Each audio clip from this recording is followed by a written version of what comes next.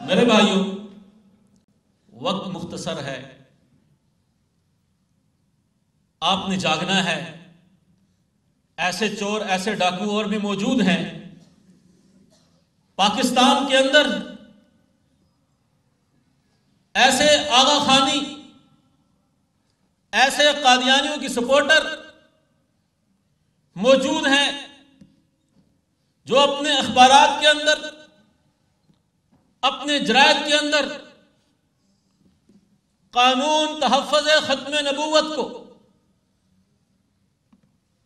کبھی تو کہتے ہیں کہ یہ نٹوریس لا ہے۔ اس کا مطلب ہے بدنام زمانہ، قانون نوز باللہ۔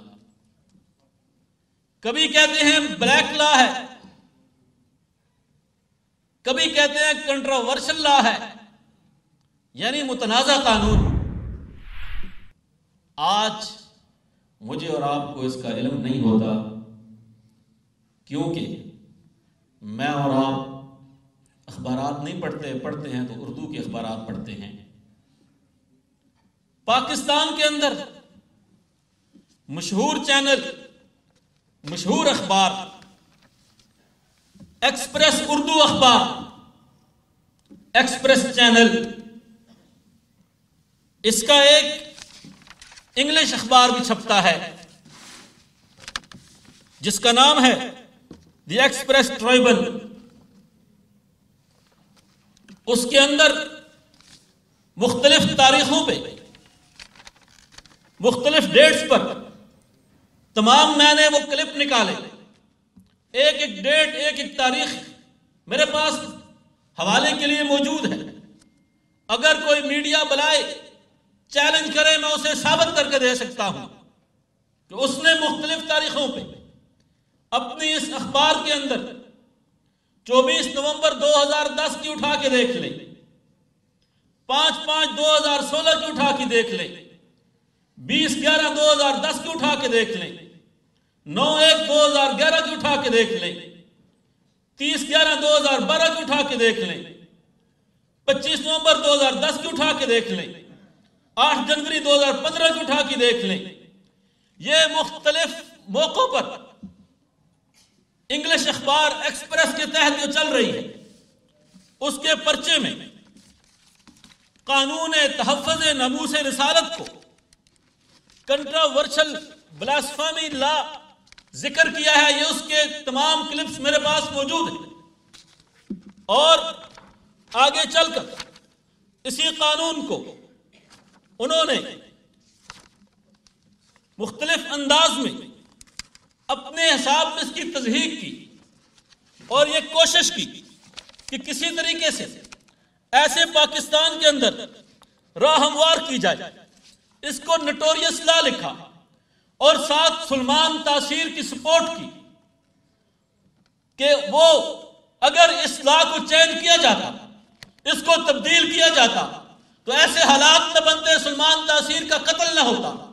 اس آسیہ ملعونہ کی سپورٹ کی۔ آج میں پوچھتا ہوں پاکستان کے اداروں سے۔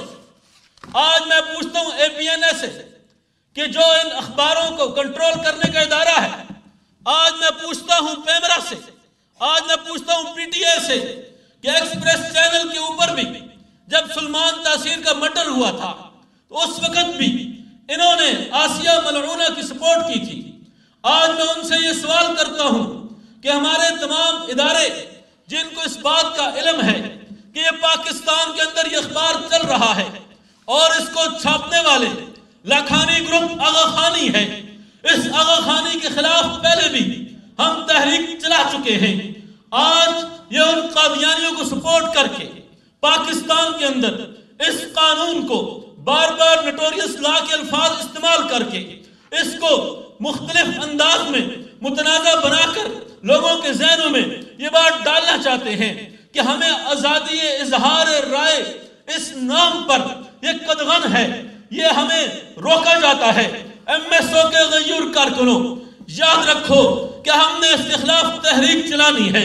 ہم نے کالج کالج جا کے یونیورسٹی یونیورسٹی جا کے ہر مدرسے کے اندر جا کے ہر محلے کے اندر جا کے تمام سٹوڈنٹس طلبہ تنظیموں کو اپنے ساتھ ملا کر کفر کے راستے روکنے ہیں اور ہم نے ان کو یہ بتانا ہے کہ یہ سازشیں جو تم مختلف انداز میں کرتے ہو، کبھی تم اس اخبار کے انداز میں، اس قانون کو ختم کرنے کی سازش کرتے ہو، کبھی رنگیلا رسول کتاب کا ترجمہ کر کے اس کو انٹرنیٹ پہ لوٹ کیا جاتا ہے، مختلف لوگوں کو خریدا جاتا ہے، کبھی اس کے بلاک کے اندر ڈسکس کر کے مسلمانوں کے جذبات کو مجروح کیا جاتا ہے۔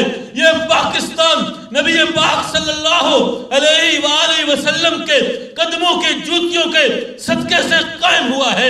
جب تک یہ پاکستان قائم رہے گا، اس وقت تک تحفظ ناموس رسالت کا قانون بھی قائم رہے گا۔ کوئی بھی اس کو ختم نہیں کر سکتا۔ آج اس کے خلاف فتوہ بھی آ چکا ہے کہ کوئی آدمی بھی اس قانون کو اگر ختم کرے، یہ فتوہ بھی موجود ہے۔ جو آیت میں نے آپ کے سامنے پڑھی، ان الذين يؤذون الله ورسوله لعنهم الله في الدنيا والآخرة وعد لهم عذابا مهينا جو اللہ اور اس کے رسول کو اذیت دے گا، تکلیف دے گا، اس کے لیے دردناک عذاب تیار ہے۔ یاد رکھو کہ کوئی ایسا چور، ایسا ڈاکو جو کسی انداز میں، کسی طریقے سے ختم نبوت پہ ڈاکہ مارے گا۔ انشاءاللہ، ثم انشاءاللہ۔ میں آج اعلان کرتا ہوں اس سیمینار کے، اس کنونشن کے وساقت سے، ہیومن سیفٹی لائرز فورم کی طرف سے۔ میں انشاءاللہ ان کو قانونی لیگل نوٹس بھی بھیجوں گا۔ اے پی این ایس کو بھی نوٹس بھیجوں گا۔ اور پاکستان کے تیرہ اضلاع کے اندر ان کی رجسٹریشن ہے ڈکلیریشن ہے۔